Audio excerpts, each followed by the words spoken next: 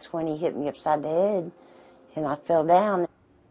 A New Albany woman is attacked and robbed at a gas station and a surveillance camera captured the entire thing.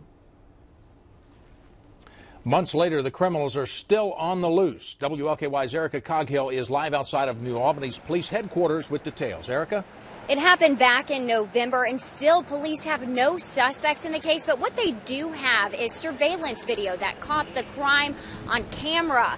And they're hoping that you might recognize the men in that video, so pay close attention.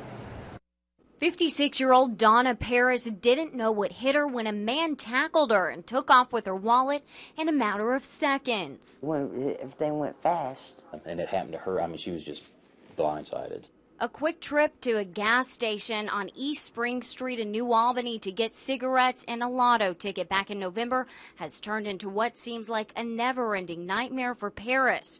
Police still without any leads on the case. That's the frustrating part about some of these cases is you, you've got the evidence there, but you just can't pinpoint who the actual suspect is. Detectives provided WLKY with this video.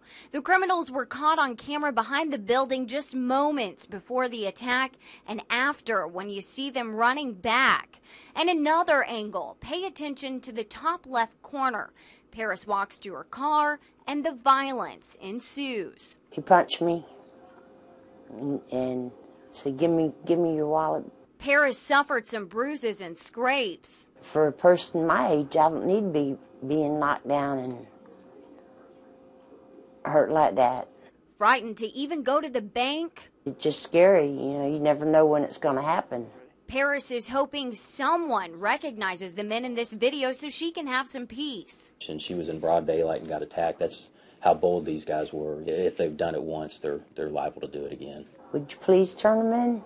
So they can be punished before they hurt somebody else. And for a closer look at those men, check out our website, WLKY.com. Click on the As Seen on TV section, or actually the top stories section. And if you did recognize those men or have any information in the case, you're asked to call New Albany Police Department's tip line. That's 948 NAPD. Right outside of the New Albany Police Department, reporting live, Erica Coghill, WLKY News.